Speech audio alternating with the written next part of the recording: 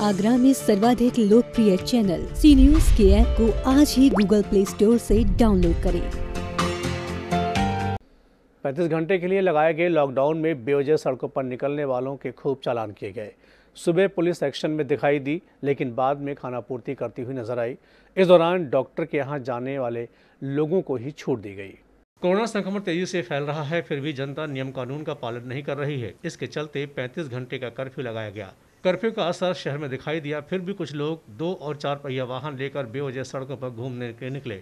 ऐसे लोगों के वाहनों की पुलिस ने चालान भी किए। सुबह पुलिस एक्शन में दिखाई दी, लेकिन दोपहर के बाद खाना पूर्ति होती हुई दिखाई दी। सरकार की गाइडलाइन के अनुसार शहर में छोटी दुकानों के साथ साथ बाज़ार बंद रहे।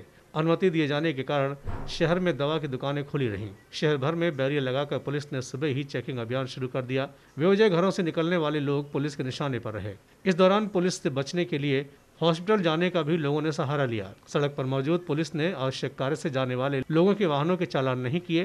पुलिस के सहयोग के लिए सिविल डिफेंस की टीम भी मौजूद रही। कर्फ्यू में कुछ ऑटो और मयूरी रिक्शा भी सड़क पर घूमते हुए नज़र आए। पुलिस शहर भर के चौराहों पर मौजूद रही, लेकिन दोपहर को शक्ति नहीं दिखाई दी। इस वजह से लोगों का आवागमन बना रहा। Umesh Sharma, C news Agra.